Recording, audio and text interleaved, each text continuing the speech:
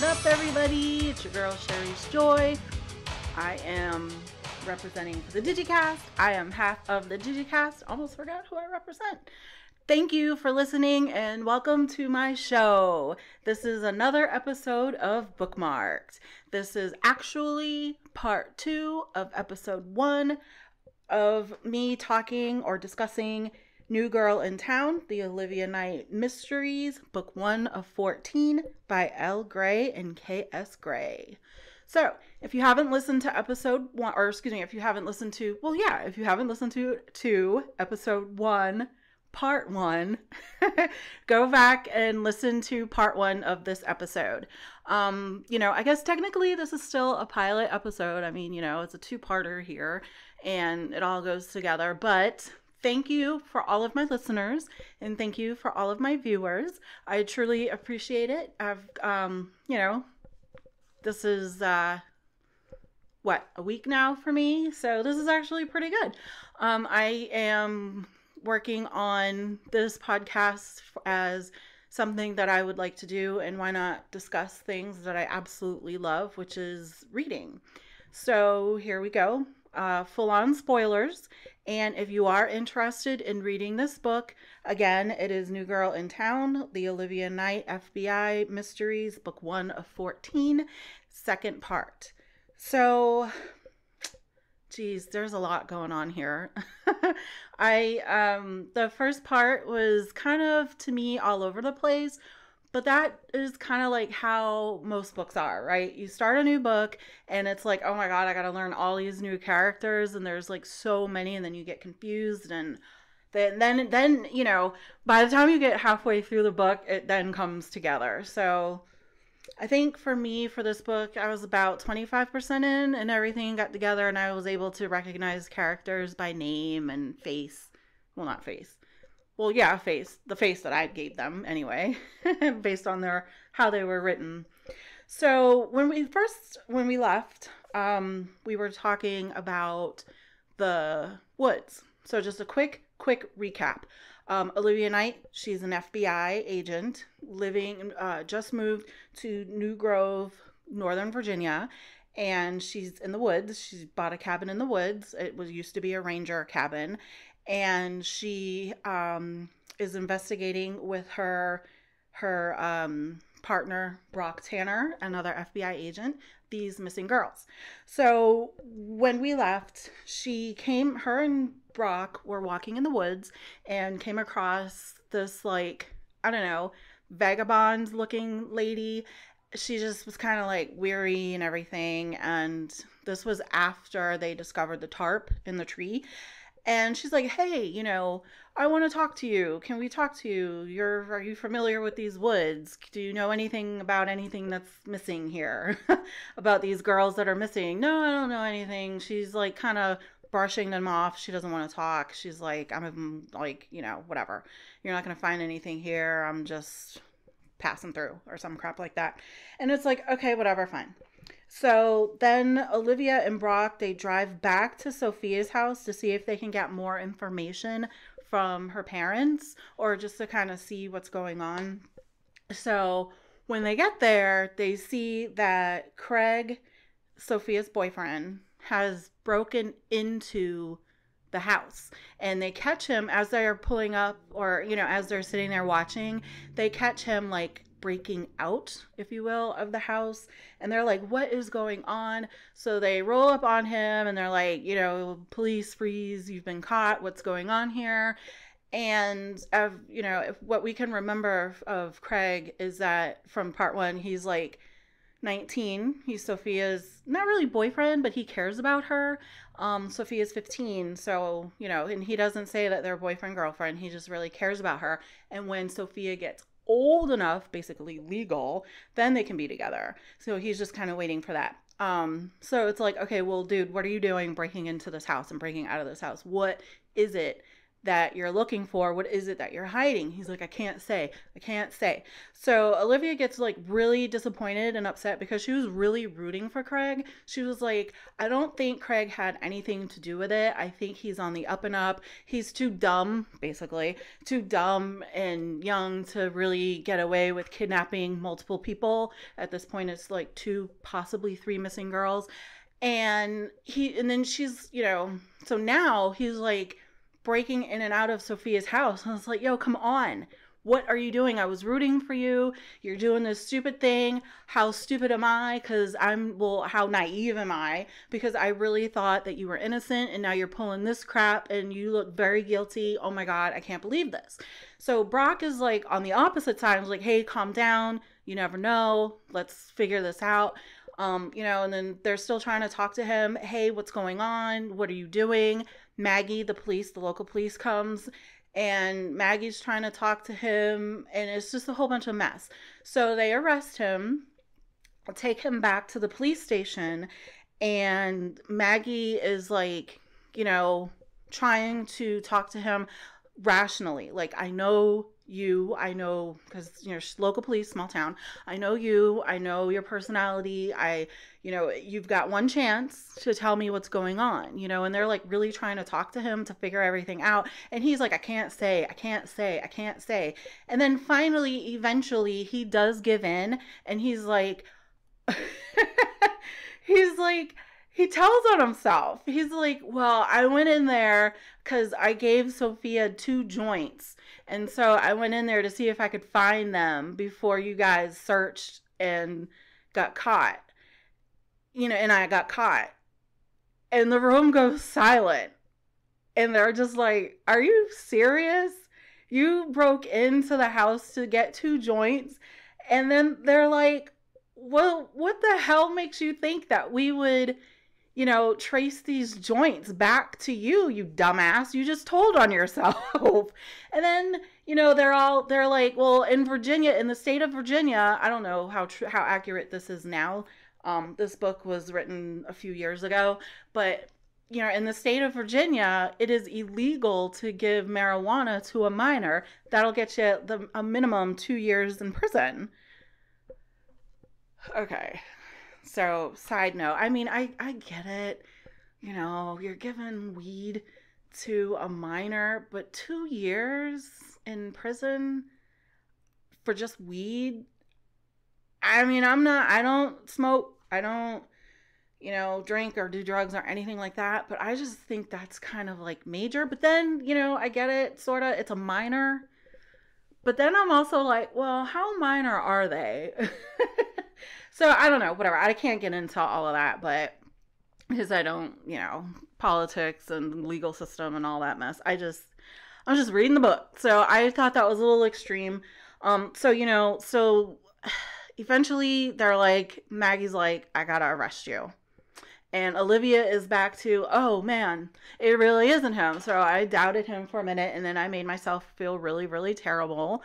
And I shouldn't have. So Olivia is like, down in the dumps about all of that and like you know i can't believe all this is happening and at some point her and brock go to the diner the local diner and because brock is hungry and he needs you know he's he calls his food like food for thought i guess like energy and he needs to get some food so he can think clearly. So he orders like this triple burger and fries and a milkshake, and Olivia just orders some coffee and mozzarella sticks.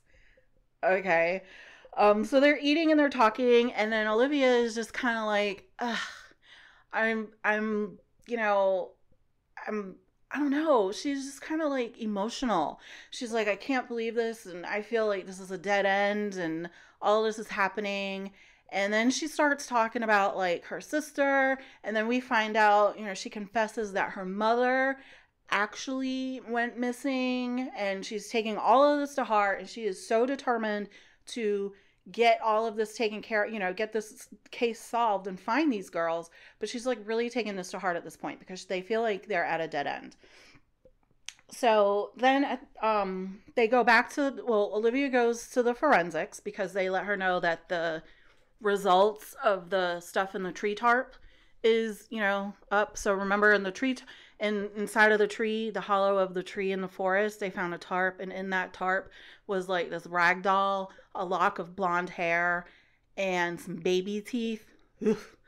Um, so they sent that to forensics, and the forensics lady is is so funny because she describes her. I could like see her perfectly. She's like the scrawny, skinny lady, and I mean that's how she's described. And she's got like bony face, and her hair is pulled back in a ponytail like so tight that she looks like she had Botox, and that her hairline is like all the way pulled back because her her ponytail is like so tight. So basically, she's like saying, "Hey, you know, I ran this stuff. This was a waste of my complete time. And you're wasting your time. And I have like actual crimes and actual things that I need to run DNA and all of that. So the hair is, um, you know, definitely female and obviously still blonde. And the baby teeth have been confirmed to be from the same person who the hair belongs to and they didn't find anything on the rag doll. And they couldn't really say like how old the teeth were. Um it, it was like oh excuse me. They couldn't see you know determine how old the hair is but she had to guess that it was in within the last like 15 to 20 years. So she's like all right bye olivia. You just wasted you know my time. I got real shit to do. Olivia is again down in the dumps feeling like ugh. So she um she goes home and she goes to sleep and all that and then the phone rings. Well actually she goes back and she sees brock and brock is like all right well we're i guess you know they're gonna pull me off of the case so i'm gonna go back to dc that's where he lives and it's not that far it's not. so I'm gonna go back to DC, and because I know they're gonna pull me off of the case, yada yada, blah blah blah. And Olivia's like, "Oh, you really have to go?" And he's like, "Yeah, I mean, what else is there for me to do here?" She's like, "Oh, but I'm here." She basically wants to say that, like she's thinking, "But I'm here. I don't want you to go. I'm so in love with you. Oh my god!" But she doesn't say that. She's professional. They're partners, and she's just like, all right, well, I guess I'll never see you again. And he's like, what are you talking about? We're friends. I live an hour away. It's DC, whatever. I'll see you again. And she's like, okay, fine. So they leave. She goes upstairs. She goes to bed and all that. Phone rings. It's her boss. And the boss is like, hey, we got another missing girl. Oh my goodness. So this missing girl, her name is Haley. And she is missing girl number four, I believe. Yes, missing girl number four she was taken at a sleepover. So she had a sleepover and she had a bunch of, you know, her friends over and the parents were like, oh my God, like the girls told they, it was 2 a.m. and the girls said that, you know, or 4 a.m. when they woke up and they came up and they got me and she was like missing. So you're like, well, how did she go missing? Like, this is a sleepover. I'm thinking when you have a sleepover, like all your friends, they sleep like, I don't know, in the same room together, the basement, living room, whatever. You're, you know, all of that. But this is like a 2011 sleepover. So, you know, I had sleepovers in the 80s, whatever. So, anyway, so she's missing, and it's like, all right, back to work. So Olivia goes back to where Brock's B&B was and he's like, "Hey, let's do this. We're going to get this killer, not killer, kidnapper." And they're all about it. So they're talking and they're like, you know, the forensics with the doll and the missing teeth. I feel like it, oh, not me, but them. They feel like the kidnapper, and I'm sitting here thinking the kidnapper is a female. It's totally female. Remember in the in the epilogue, the person was like, "Here, eat your mac and cheese just the way you like it, and I made your toast just the way you like it." I feel like that's more of a female thing, like a nurturer type of person, like a mom, because I don't think a dad is really going to go that extreme and really care that much about how perfect the mac and cheese is and how perfect the toast is for you know, this person that they, this kid that they kidnapped. Okay, 15 year old, I'm sorry, this teenager that they kidnapped. So I'm thinking it's female. I'm like, this is a female. So what these two come up with, Brock and Olivia, they're like, all right, this guy, they keep calling it, the kidnapper a guy. And I'm like screaming, like, it could be female. So this guy kidnapped, the kidnapper obviously lost a child and, um, you know, is very uh like look at um type specific in what they're looking for. All the kidnap, all the kid, all teenagers that have been teenage napped are all blonde, they're petite, and they're all the same age, 15 years old. So then they, you know, along with the baby teeth and the rag doll and the hair, they feel like maybe that's all connected. And a person who has all of those keepsakes obviously possibly have lost a child at some point, you know, child died. They they go straight to death. and they're like, you know, and so they are trying to make up for the child that they lost. And I'm like, I don't feel like a male dad is going to be that sentimental. Like who keeps baby teeth like that? And and I mean, you know, maybe one, but like all of them and then to like put it in a tarp and put it in the woods like why? Why? That's just so creepy on some other level weird. So whatever. So that's what they think. They think this guy kidnapped these these these teenagers and they're looking for them.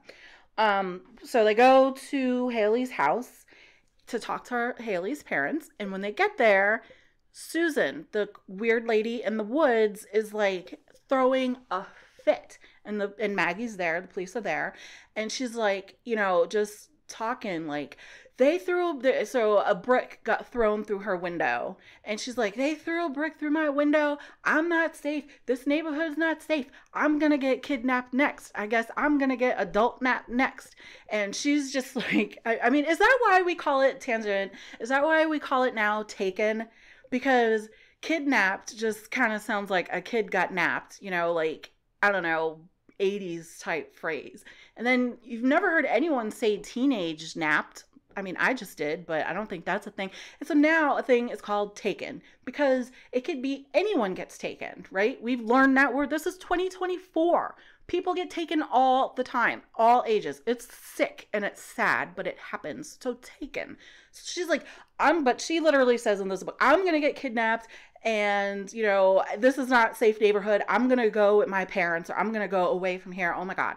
So olivia and brock are like all right we need to talk to this lady because like she's the next door neighbor. She's got a brick thrown through her window. Maybe she knows something. So they're talking to her and the more that they talk to her Tan- um, tanner uh, agent tanner brock he is like she's a drunk. She is definitely an alcoholic and this is why. She's all over the place. She is um blotched in the face. She's got fair skin. She's got like some gray blotches. She has red nose, her eyes, her she's kind of slurring her words and she's just crazy talking. And so he's like, she's an alcoholic. We don't know if you know, we can trust what she's saying. And so Olivia's like, well, I don't know. She might be on to, you know, blah, blah, blah. And so they, they don't rule her out as like, not talking to they talk they're they continue talking to her and they continue asking her questions. And she's like well um, haley's parents they have a housekeeper and the housekeeper go because because this kidnap there was no forced entry. So whoever did this had a key. So susan is like talking about the housekeeper and how the housekeeper the only person that goes in and out is the housekeeper. And the neighbors on the other side of haley and them are nosy and not trustworthy. So she's like trying to pin it on the other neighbors, the you know, of throwing the brick in her window. Or, you know, just a bunch of like crazy neighborhood stuff. So Olivia and Brock are like, whatever, like, I'm done with this. Like, we got nothing here. We're not going to find out anything here. So they go to the next town over. I mean, this is kidnap, uh, excuse me, this is taken teenager number four and now they go over to the next town to talk to the police there. So they go and they talk to the police. It was like one guy in the police station. And trust me, I'm not criticizing this book at all. It was a very interesting read. I really did enjoy it. Um, and so the police officer is like, You're those agents, aren't you, working on that kidnapping case? And they're like, Yeah. I don't have anything except, you know, nobody nobody's going out at night. My whole town is scared. Got nothing here. And, you know, another dead end. So it's like, oh my goodness, what is going on? So they're like feeling beaten, destroyed all over again. And then they get a call there's another girl taken. So this time, this is in Alexandria. And if anybody knows anything about like the DMV area, you know, DC, Maryland, Virginia, you or anything about Virginia, yeah, I mean DC, Maryland, Virginia. So you know this the place, the town Belgrove, Virginia, Northern Virginia. I've never heard of it. Although when I looked it up, it said that Belgrove, Virginia, is a plantation. Oof. So um, Belgrove, Virginia, is a town in this book, and then there's a another person taken from Alexandria, Virginia, and it's like okay, so why so far away? So they go to the location of this of the girl and it's like this rundown neighborhood. Now this is the part of the book that I really did not like. Um they go to this rundown neighborhood and they find the house that they need. Grass is like unkempt or unkept and you know overgrown and the house is just kind of like they make she the writer make they make it to seem like it's a shack like or like a like a cheaper like you know, I don't know. I when I read it, I mean everybody's perspective is different, but when I read it, I I get the idea of like a little rundown shack looking house on a street where it was like definitely unkept and like they said trash was everywhere, dirty. So I'm like rundown neighborhood, okay. They knock on the door and they go inside and this is what I don't like. The parents are black. And Olivia and Brock look at each other and they're like, okay, silently. And they go in and they're talking to the parents and they kept saying, you know, kid. And they're like, what are you talking about, kid? Tasha is 18 years old. Oh, okay. So then they get more, you know, they continue talking, but they're like, but Olivia, you know, inside the book, Olivia's like, okay, well, this is a waste of time, but we're going to still talk anyway because we don't want to be disrespectful. So they're getting the information and they're like, all right, thanks, bye. And then we never hear about that missing 18 year old named Tasha ever again. And that's the part that upset me. I mean, I know it's a book, and that's not the whole point of the book. And I might be getting just a little bit deep, but, you know, as being a person of color myself and knowing that there are so many people of color out there that are missing and nobody cares except for like the families and other people of color like the, like you know what i mean like i don't want to get into it i don't want to get into that but that i was like we're bringing this into the book like let's just read about and like i said i could be reading too much more into it you know than what needs to be but it was written in the book that was in there and that pissed me off a little bit like i'm like because it's never mentioned again. You know it's like another black girl missing and nobody cares. So it's like also in a book that i'm reading and i thought that was crazy. So anyway um i'm sorry but that's you know i'm not sorry so that's it is what it is so they, you know, they're like, another dead end. Oh my goodness. So they go back to the diner and they eat and they have coffee or and then they go back to um Olivia's place and what's waiting for her? A freaking town mob is waiting, basically. It is the parents of all the missing girls have barged and it, you know they're waiting for olivia to get home. So olivia and brock are like oh my goodness like this is my home. You know olivia's this is my house. This is my home. And sophia her mother alice remember i don't like her. She's the asshole parent barges in and is like what have you been doing? What have you two been doing other than cuddling up and you know making whatever with each other. We know that you've been in the diner making googly eyes instead of working on finding our kids and, you know, just demanding information. Like, first of all, you bust into my house. No, first of all, you come to my home. How dare you? And Olivia's like, How did you know where I live? And they're like, You're the only FBI agent in town. It's a small town. We know where you live. you live in a cabin in the woods. What other cabin in the woods is there? Okay, fine. So, and then how dare you bust up in my home and you demand to know what's going on? I mean, and then you accuse me and my partner of like, I don't know, having an affair versus finding your missing kids. So they basically tell, actually, Brock more so tells Alice off. And Alice's husband is Elijah. He's trying to, like, he's very embarrassed by his wife, obviously, and her behavior. And he's trying to calm her down. And after Brock and Olivia basically tell the bitch to f off and shut up and listen, and here's what we have, by the end of all of that, and they show her the evidence and everything that they've gone through and how many dead ends they've come to, Alice kind of calms down. She backs off and she's like, I'm sorry. You're right. You know, I'm embarrassed, all this other crap. So they make it right. And they talk and they go over all the information and they tell her, you know, the theory. The whole time, I'm like, it's a female because they're still saying male. I'm like, it's a female, it's a female. Oh my goodness. And I'm like, why hasn't anybody questioned this housekeeper? What is going on? So after all of that happens, it's nighttime. Brock goes home. The townspeople leave.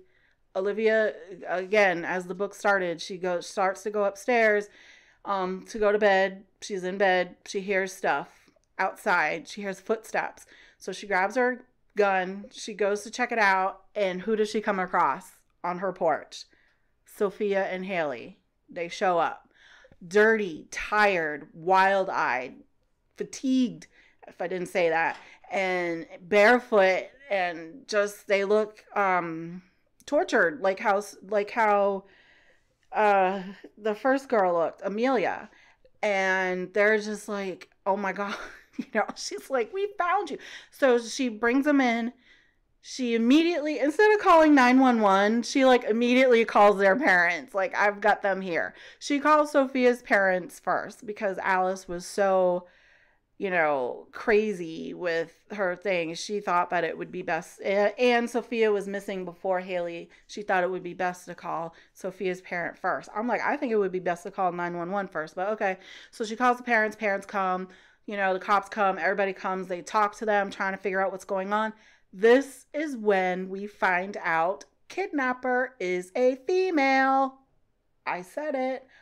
Um, and the kids are like, because she was like, this guy, this guy, this different guy. What are you talking about, guy? It was a female. She made us dance and she did us this and she made us call her mom. See, mom, that whole thing, right? Mm-hmm. So she made us do this. And they kept, the mom kept calling me Lauren. Lauren, Lauren. They kept calling both of them Lauren. And it's like, bingo, we got a name, we got Lauren. So they are like, all right, find all the missing people well, actually, I think before that, they are like, find, you know, she goes to Maggie and is like, can you find me all the people in the town who have missing, who have lost a, a child? All dead ends. So that's that was the other dead end. Sorry. So yeah, so Lauren. Okay, so now they're looking for someone named Lauren, or someone who lost a child named Lauren. Cool. So the next day, they get a Olivia gets a call. We got another missing girl. Her name is ding ding ding Lauren, and she's in Baltimore. what? So we have a missing a missing girl in Seattle. She was found. That's Amelia. That's girl one.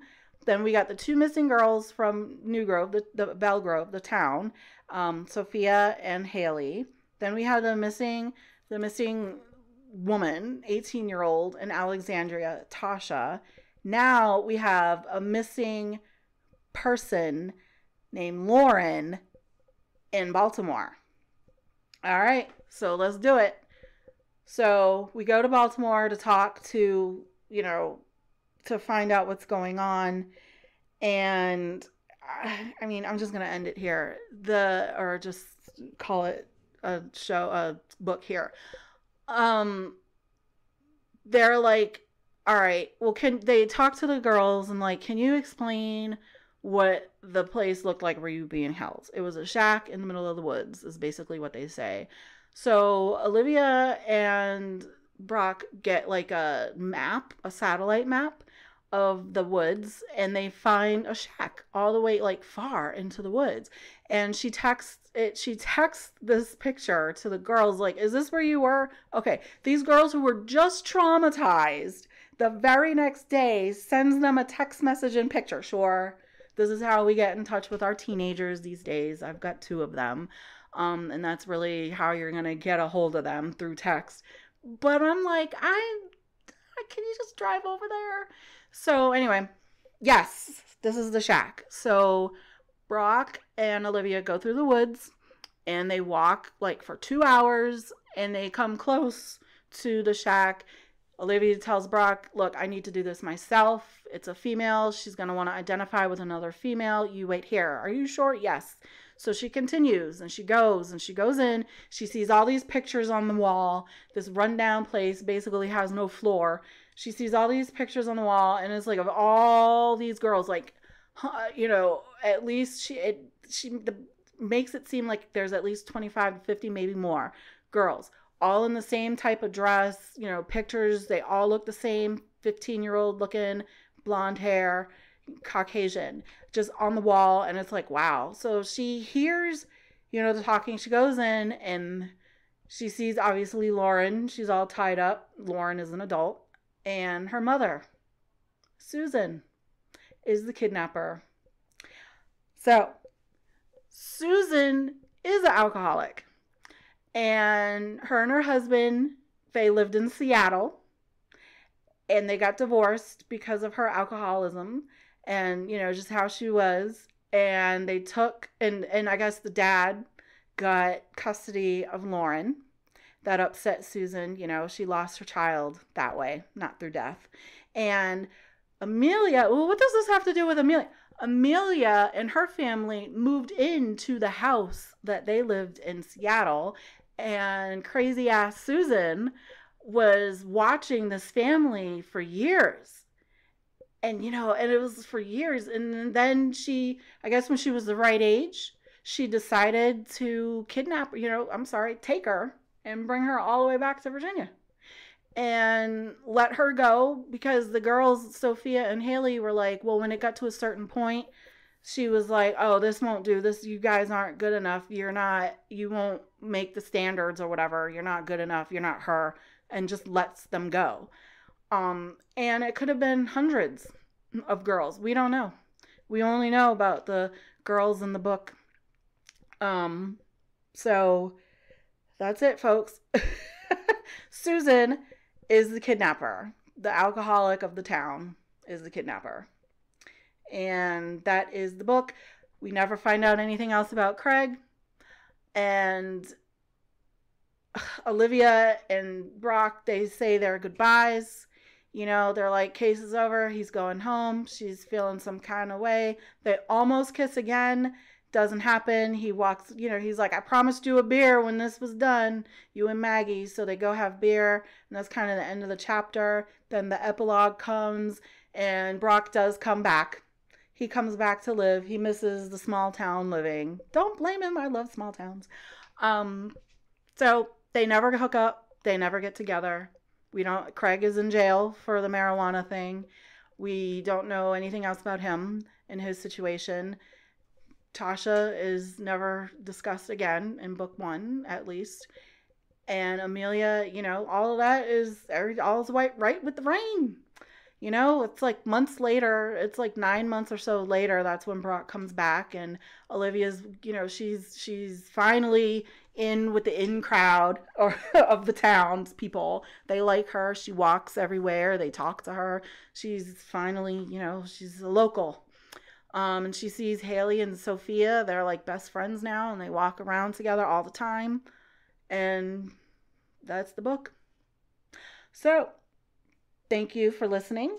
That again was New Girl in Town, the Olivia Knight FBI Mysteries, book one of 14 by Elle Gray and K.S. Gray. They are independent, I just found out, independent uh, writers. So, thank you for listening to me and hanging out with me. I really appreciate it. I did enjoy this book. Again, this is not a book review. This is just me talking about the book because I don't have anybody else to talk to about the book. So why not do a podcast on it? Thank you for hanging out with me. I am Sherry's Joy, uh, the one half of the DigiKast. You can actually check us out, or please do check us out on YouTube at the DigiKast one, the number one. Um, like and subscribe. We have a blog, thedigikast.substack.com. Flipboard. We do have a Flipboard. There isn't much up there yet. There's a lot coming soon. We just set that up, but search for us on Flipboard at the DigiKast. Facebook, the DigiKast. We're on Instagram, the DigiKast. Spotify, the DigiKast. And we have Amazon. So please use our affiliate link on Amazon. The description is in the information below. Check out our merchandise and not our merchandise for DigiKast, but check out the things that we like that are on Amazon.